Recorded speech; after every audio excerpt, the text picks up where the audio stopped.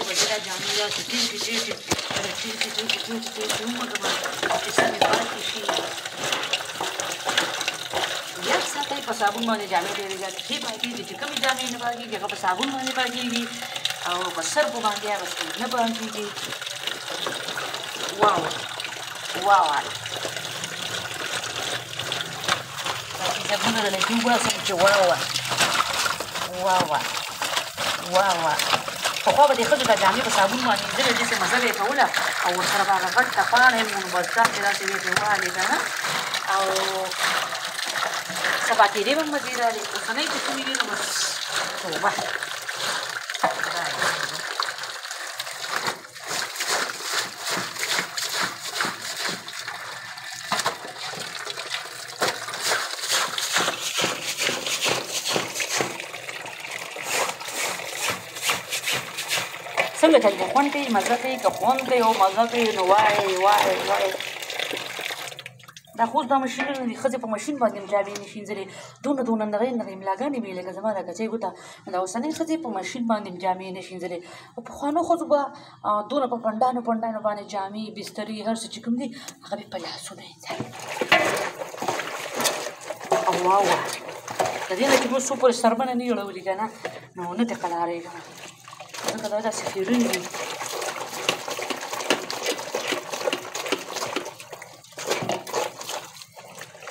داسې به دا کالي چلو خو بس داسې چې کالر غوړي خیرنې نه داسې په دې صابون باندې ومږي کنه ټیټ ټیټ په الله صابون ورکې صحیح ده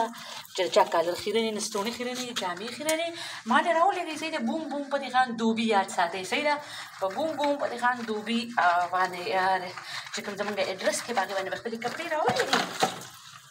او په خان دې راځي چې چې چې چې